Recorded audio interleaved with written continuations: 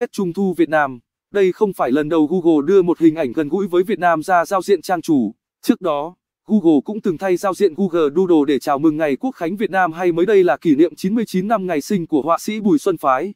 Google Doodles là những biểu tượng đặc biệt, thay thế tạm thời cho biểu tượng Google trên trang chủ google.com nhằm chào mừng các ngày lễ lớn, các sự kiện, thành tựu và nhân vật có đóng góp quan trọng ở nhiều lĩnh vực cho cộng đồng ở đất nước mình, hay cho nhân loại.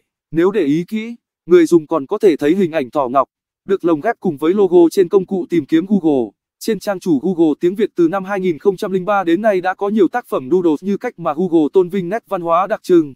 Tại Việt Nam cũng như kỷ niệm những ngày lễ truyền thống.